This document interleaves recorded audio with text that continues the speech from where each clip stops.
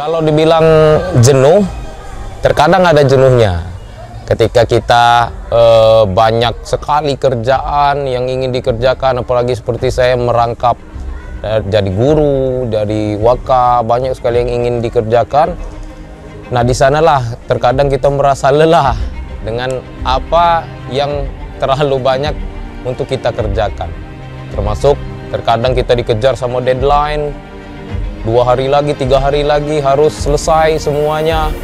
Nah di sana terkadang kita merasa jenuh. Malam-malam itu kita mikir, e, pas saya berhenti aja gitu. Akan tetapi e, semangat, alhamdulillah karena jiwa muda tadi e, kita selalu termotivasi untuk ah ngapain? Ini kan memang sudah tugasnya kita mengabdi kepada negara.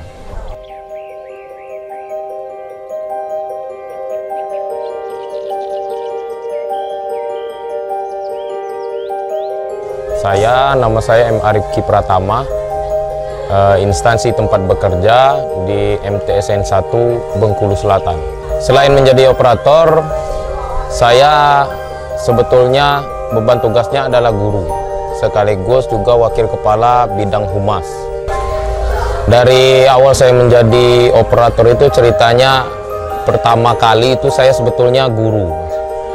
Guru, seorang guru IPA, uh, yang kerjaannya ya mengajar, membina anak, uh, mendidik. Ya.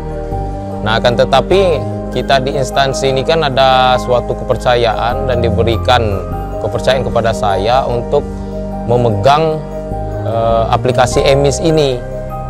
Nah, dari saya sendiri termotivasi karena ingin membuat sebuah perubahan karena saya lihat di lapangan para para operator ini uh, banyak sekali yang berkeluh kesah tentang susahnya dalam mendata di aplikasi emis makanya saya tergugah untuk uh, terjun di mengambil tugas yang diberikan kepada saya itu. Setelah saya coba aplikasi emis itu saya pelajari dulu nggak ada yang susah sebetulnya di aplikasi emis itu. Kalau kita kerjakan uh, sesuai prosedur sesuai juknis yang ada. Menjadi operator itu ada senang ada uh, dukanya. Uh, dari sisi senangnya kita bisa membangun uh, jaringan uh, memperluas pergaulan membangun komunikasi yang baik antar sesama uh, pemangku kebijakan juga. Uh, kalau dukanya ya operator itu ya setiap hari kita harus bergelut sama laptop. Uh, mau siang malam ketika data ini harus selesai dalam waktu yang sudah ditentukan maka kita nggak kenal waktu lagi. Subuh-subuh kita laksanakan. Pekerjaan itu kalau seperti emis yang kita sedang kita bahas kalau kita kerjakan langsung ketika misalnya sudah buka pendataan langsung dikerjakan itu nggak bakal ada masalah di uh, maintenance atau uh, down server jadi kembali lagi ke SDM-nya, kan kebanyakan kita ini kerjanya uh, sudah masuk deadline baru dikerjakan, makanya uh, lelet dia. Beliau ini berhati-hati dengan data, karena kenapa? Sedikit slip data tidak bisa diambil.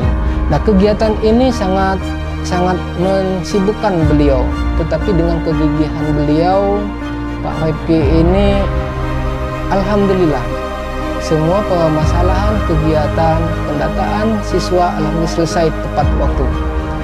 Beliau ini mengerjakannya tidak pandang hari, kadang-kadang sore, malam, siang dilaksanakan. Karena kenapa beliau ini saya anggap orangnya telaten.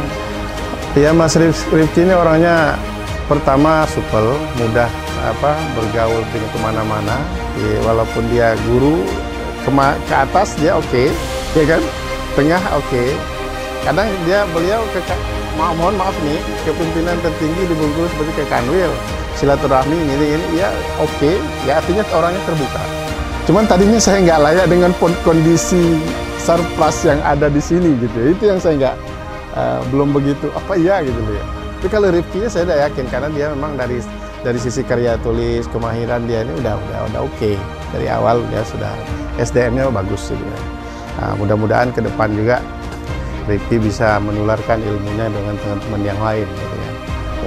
Sebetulnya nggak nyangka karena awalnya berawal dari kita eh, iseng-iseng mas pertama itu karena ah ini kita ikut ini nanti impactnya pada kita apa sebetulnya tapi karena ada motivasi dari teman-teman misalnya eh, dari kepala dari admin kabupaten dan admin provinsi untuk menyarankan saya untuk ikut itu. Karena mungkin mereka menilai potensi di dalam diri saya itu ada makanya saya ikuti. Kita akan sama-sama untuk mengumumkan juara utama.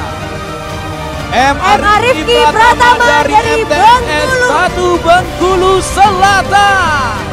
Berhak mendapatkan pendidikan user champion MIS 4 Ladan 2023 tingkat madrasah dan selanjutnya harapan saya kepada operator-operator eh, yang ada di seluruh Indonesia jangan lupa kita itu selalu membaca. Belajar itu yang paling utama. Jadi kalau kita selalu belajar eh, insya Allah apa yang diberikan kepada kita bisa kita selesaikan tanpa ada masalah dan kendala.